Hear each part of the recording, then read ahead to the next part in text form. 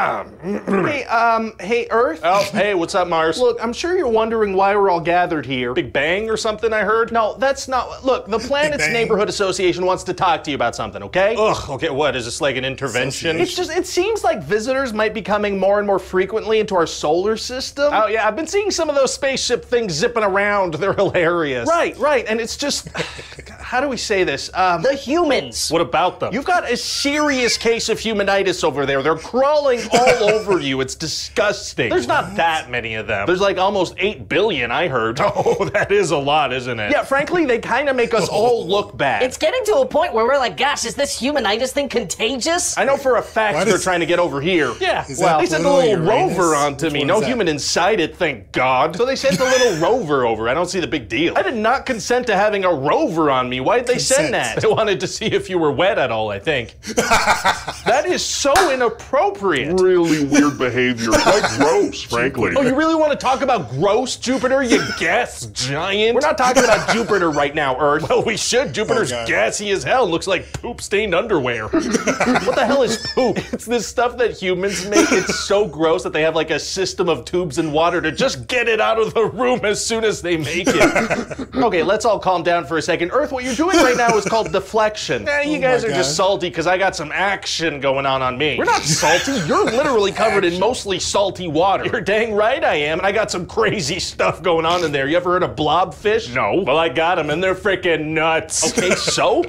We just want the solar system to be more welcoming to visitors, is all. I mean, your humans are also launching random trash into space. What are those things? They look horrible. Oh yeah, they call those satellites. They put them there so they can like beam stuff down to the rectangles they like to look at. well, they're an eyesore, quite frankly. Well, why aren't we talking about Saturn's bling bling situation over there? These rings Bling are bling. decorative. Yeah, we're all okay with Saturn's rings. We think they're tastefully done. Thank you. Frankly, Earth, we're also, you know, kind of worried about you. What are you talking about? Those humans are clearly killing you.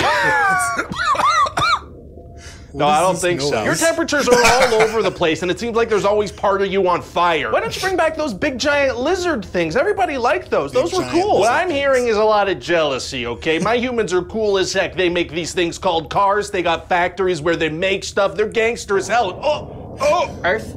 Is that a nuclear bomb? no. Are you okay? I'm fine. That was nothing. That was, oh, okay. Oh my god. Earth? All right, yeah, it might be time for a plague or something. Hi there, hello, it's me. I'm the something. astronaut. I'm out here in ad space to talk to you about Raycon. So hey, it's school time again, which is one of the best times of the year to shove earbuds in your ear holes. And luckily for us, Raycon everyday earbuds look, Every feel, and he says it sound like better that, than ever. horrible. These bad boys offer 8 hours of playtime and a 32 hour battery life. That makes them perfect for listening to my online marketing courses. Now, the only effective advertisements are the ones that take place in outer space. And you know what? Raycons are priced just right. You get quality audio at half the price of other premium You audio what? brands. Plus, they're super durable and water and sweat resistant, which is perfect for me because I get sweaty during my online courses. It's hard to use my brain that much. A great marketing strategy is to have a guy just float across the screen naming product features. That makes sense. Raycons also come with optimized gel tips so they will not budge in your ear holes. And they come in a variety of color options too, so you can grab a pair that fit your style perfectly. So hey, school's back in session, which means Raycon's having their need to hurry annual back to school sale. For a limited time only, get 20% off site wide plus free shipping. Always make sure to end your ads with a joke of some kind. Okay. Nope. that was perfect. So he gets to choose when he has a plague. Uh, is that kind of how that happens? That, that's what's that's what they're going with here. Earth is just like, yeah, this isn't happening right. This, things aren't things aren't going well. I'm good. Let's do a plague. Let's do a plague of some kind, uh, and kind of fix this stuff. Uh, fix this stuff on Earth. That was funny though. Was that Uranus though? Was that Uranus? It wasn't Pluto because Pluto's not a planet technically, you know, anymore. I still think it is, but they say that Pluto's not a planet. So that was Uranus, the gray one. It was the Federation of Planets, right? It wasn't. This wasn't. Couldn't have been the moon, right? Ah, that was pretty funny. This was a good one though. Simple and kind of different for him. Like it felt a little bit different, but maybe maybe because his face was on planets, that's just why it felt different. It was really the same style of comedy and it worked. So that was it was pretty good. Favorite part from you in the comments below. Let me know. Watch the videos I got for you guys here as always, and I will see you on the next video. Take care.